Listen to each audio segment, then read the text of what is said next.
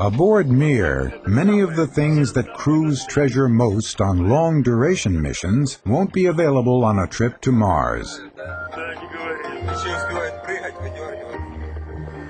Distance will prohibit the real-time back-and-forth video conferences with home that cosmonauts enjoy at least once or twice a week. Portholes, which allow the crew to look back on Earth whenever they're homesick, will be useless. A flight to Mars will be a frozen picture of unmoving stars, and the Earth will be just a dot among them. Mission Control, this is Mars Explorer 1. Hope you're reading us.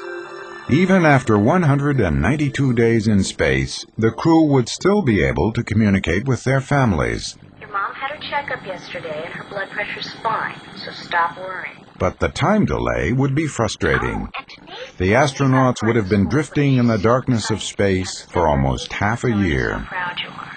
Okay, I'm going to pause now. Because I know you won't get this for another 20 minutes, and then I have to wait to hear back from you. So I think I'll go work in the garden for a while. By this time, they would be close enough to Mars to make out some details. Ten more days, and they would be able to set foot on the red planet.